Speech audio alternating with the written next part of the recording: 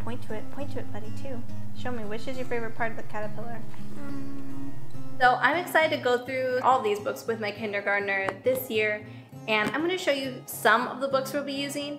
I would show you them all, but we don't have all day, so I'm going to show you some of my favorites and tell you a little bit about them and why I love them so much. If you want to look at a full grade of everything that I'm doing for the school year for any of the grades, all of them are the same as far as the structure, and you can check out the video It'll be up one of the sides up here. I'll have a card for the third grade, everything that we're doing. So here's the books for what I'll be doing for my kindergartner. So we'll be reading 20 and 10. This is an awesome book. It's talking about World War II, little children that were hiding from the Nazis and how they saved themselves. Um, you know, there was adults involved too, but there was a lot of the kids on their own and they had to uh, learn how to protect themselves and what to do in case there was trouble, which there was trouble, and it talks about it in the book. Um, I like this because it talks about a really heavy topic, but since it's told, you know, kind of from a perspective of the children, it kind of makes it a little bit softer for the kids. I really liked this book. It was really good, and um, it definitely was eye opening for me, and it was good for the kids. I thought it was a good teaching book another book that we're reading is The Boxcar Children. So if you've never read Boxcar Children, it's a really good story. Um, clearly they're children and there's a boxcar that they go live in. And there's just a lot, a lot that happens. They're orphaned and they have to kind of figure out how to live on their own. This is a really good story too. Um, they're all good stories. I picked my favorites. That's why I picked them. There's a movie on Amazon if you want to watch it. Um, it's really fun. But this is actually an entire series, and I don't have it yet, so I'm gonna get that.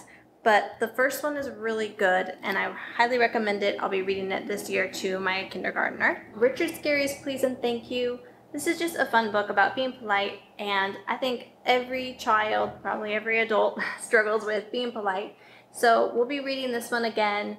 Um, this is a really fun one, and if you don't have other Richard Scarry books, he has so many good books. It's actually pretty incredible what he was able to um, build and kind of make it more easily understandable for kids. I'm actually blown away by how much he was able to create and like the whole busy town town that he created in the imagination and inside of his stories. So definitely recommend anything by Richard Scarry and the Please and Thank You in particular was a fun read. So some of the other books we'll be reading that are a little bit longer chapter books are No Children, No Pets. Um, this one is about some children that have to move and they go and they live somewhere where it says no children, no pets. They're living on the beach. It's kind of fun. It's a little bit slow to start, but it has a little bit of mystery. So it does get interesting. I plan on having to work a little harder to get my four-year-old to understand this because I do think it's a little bit heavier and might be better for like a six, seven-year-old in kindergarten. You could still um, still do it for kindergarten, but maybe like that six, seven range, I think. Another book we'll be reading is Winnie the Pooh, and um, everybody's heard of Winnie the Pooh, but we'll be reading Winnie the Pooh again. And this book is special to me for a lot of reasons, but even my three-year-old, or was three-year-old, brought this to me to read he liked it that much at that time. And there's not a lot of pictures you see. Even though he you know was really young he still loved the story and sit through a whole chapter. So i'm excited to go through it again with him this year. One of my favorite books from all of the cores that we've ever read all of the all of the years of doing um, Sonlight is here's a penny.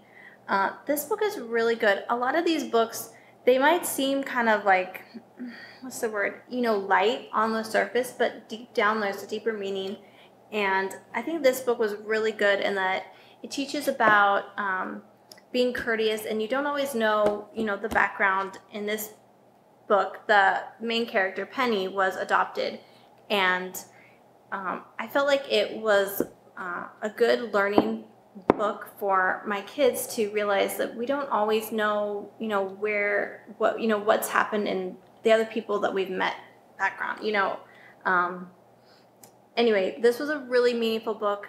I cried uh, for a lot of it. It was just really, really touching. I definitely recommend it for every age. Every age should read this book. And uh, it's definitely a good learning book too. So this one's My Father's Dragon, We've read this a couple times. Um, it's just a fun, kind of silly story. Um, really good for the imagination. And I like it because it takes the kids on an adventure of a totally imaginary place, an imaginary island, and he does some really crazy things. Like he saves himself with gum um, from like tigers, and you're just, it's just kind of a crazy adventure. But I think this is a really fun story for kindergartners. Um, it's a fun story for every age, but it's definitely fun for the little kindergartners to think of these like crazy things that happen and how this little boy, you know, was able to save himself from all of the dangers of this imaginary island. The next book um, is going to be Dr. Dolittle, and um, this was kind of interesting. This last time that I read it, I felt like it kind of went home a little bit more, and it was just a really good story. I think um, for a number of reasons, but it's also fun for the kids to get to just imagine, you know, the animals talking and what they would say and how they would act in their different personalities. We have not watched the movie yet, but I'm interested to see how much it sticks to the story of the book. Um, I like to evaluate the books and if the if the movies is as good as the book, which it never is. Another book that we'll be reading is Little House in the Big Woods, and actually. Um, we have read this a number of times. I love this story. If you have never read Laura Ingalls Wilder, it's a classic. Um, it's she paints a really clear picture of what it was like to live in Wisconsin. 1867 is the year she was born. So she's writing it, and I think she's around five years old. And it was just a really um, good book. Again, kind of light on the surface and then deeper as you go yeah, so this is be a fun one. We'll be reading the whole series. Um, there's an, it's a, I think seven or ten books in the series, and we'll be going through these ones again. Another book we'll be doing is The Dolphin Adventure, and this is a really fun book um, about a man who is snorkeling off the coast of Florida, and he runs into a dolphin family in trouble. And this is a really fun book. My kids love the ocean. They love um, going swimming and uh, seeing dolphins.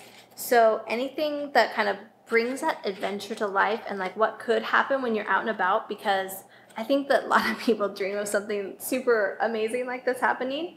And I think it's fun for the kids to get to see like, oh, how he handled that situation and what it was like for him.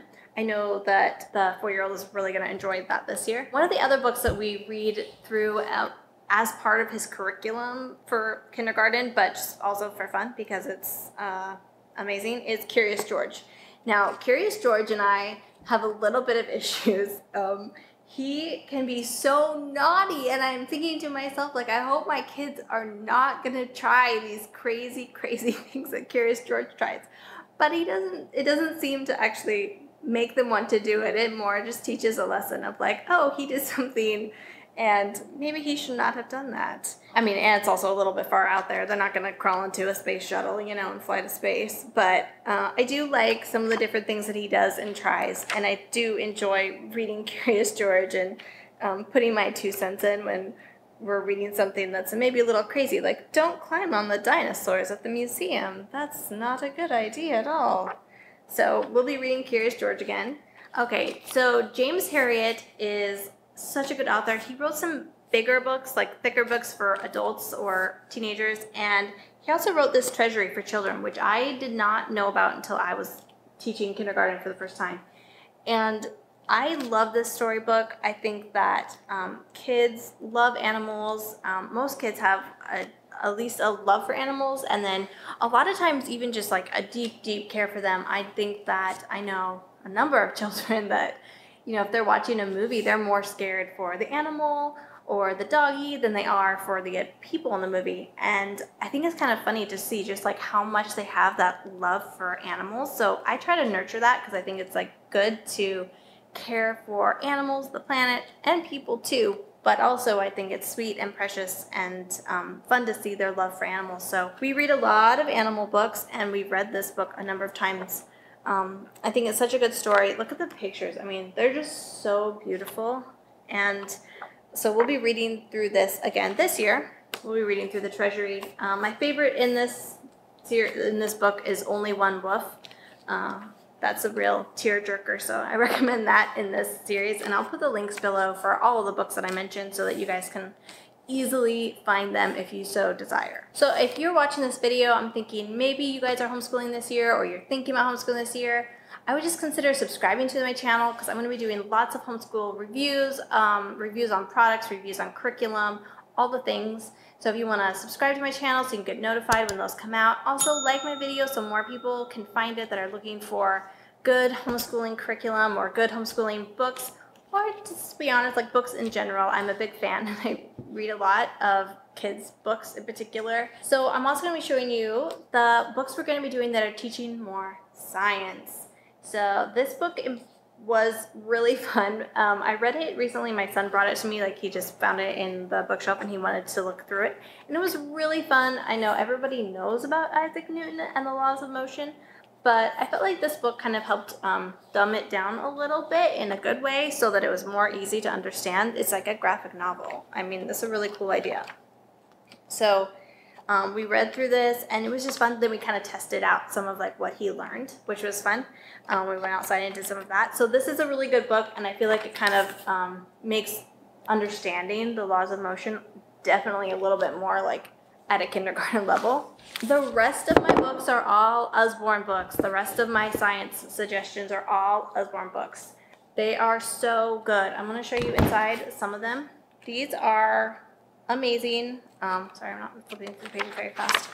Talking about different birds and how they lay their eggs or nest or they're migrating. Um, birds inside an egg. So we're reading eggs and chicks. Butterflies and caterpillars. I read these to my kids just for fun, um, but they are part of the kindergarten curriculum. I had the little label so that they don't accidentally end up in the bookshelf with everything else. Oh, see this one? This one's not a part of the school curriculum. We just have it for fun because we like to read about all the animals. Um, but these Usborne beginner books, you can find them because they say Usborne beginner. They are so good and they're all like hard so they're not easily destructible. We've had these for several years and we're to keep using them. So this one's another favorite. If you guys can find some tadpoles, I think it's really fun for the kids to get to like look around. I know not a lot of us like live near penguins, but the tadpoles and frogs and the caterpillars and the butterflies are kind of something that you can like go out and find. So I definitely recommend reading those and then going and like trying to track some down. Um, we're doing weather, under the sea. Um, yeah, under the sea is going to be fun because we love learning about under the sea. Actually, I'll link to, there's a really fun Amazon um, package. I'll link it. It's from Amazon, but it's a little package of near the bottom of the ocean, specifically creatures that live near the bottom of the ocean. And I know that all of these fish came in that little box of toys. I bought it for my son a few months back. And then how flowers grow. Um, I think this was really good too because again, like learning about the science of flowers and animals, but plants in particular can be kind of hard to grasp for kids. And this made a lot of it a little bit more clear, which I really loved. It talked about pollinating, it talked about how they spread. So that was really fun. So I'll be doing this again and I'm excited for that. And then this book has been so well loved. Um, it is out of print now, I think. Um, I have to check again, but I think it's out of print already. But if you can find an old copy of it, or they probably have an updated version um, from Usborne, if it's still available, I will put the link for it below because this book has been a huge hit. And I did not think that encyclopedias were that much fun until my uh, six-year-old discovered this book when he was like four. And it's so much fun. I mean, it's got really good pictures. I mean, it does have like good graphics, but oh my goodness, they love it. All of them will sit down and look at this book together. They just find it super interesting. And if you guys are looking to homeschool this year, you might be thinking about how do I keep my kids focused and what should I use? So here's a video you guys can watch about how to help your kids focus. And then here's a video about how to get started with homeschooling. So pick one of those and I'll see you on the next video.